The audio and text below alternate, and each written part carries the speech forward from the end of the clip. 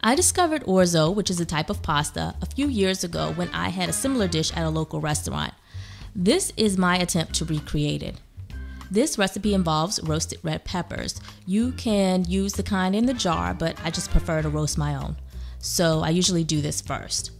I use two bell peppers. I cut around the seeds so you end up with just the slices. Place the slices on a sheet pan lined with foil and broil them on low for about eight minutes. If you don't have the option to broil them on low, um, it may take less time. Keep checking on them. You want them to be charred pretty evenly. I actually could have left these in a little while longer, but I got nervous. Put the roasted peppers in a paper bag, close it, and let them steam for 20 minutes. After they steam for 20 minutes, you should be able to remove the skin pretty easily and they should be cool enough to handle. Chop them just a little so they puree a little bit quicker. We're gonna go ahead and finish making the sauce for the orzo. I just used a package of basil from the store.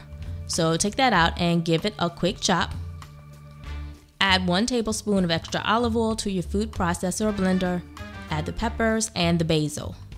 You should actually also add the juice of a half a lemon um, right now, which I didn't do until afterwards when I realized it needed it. So it definitely needs it. So add the juice of a half lemon and blend it until it's smooth. Set it aside, and next we're going to prepare the orzo. And this takes no time, it's very, very quick. Bring about four cups of water or more to a boil. This is important. If you don't use enough water, the orzo will stick to the bottom of the pan. Ask me how I know. Add the orzo to the boiling water and give it a quick stir.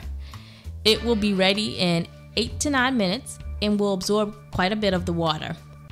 Once it's done, drain it and you will see its beautiful creamy texture. Add the sauce to the orzo and stir it to combine. This is delightful. It really is. You should try it. If you like this video, please like it, comment, and subscribe. Thanks, and I'll see you next time.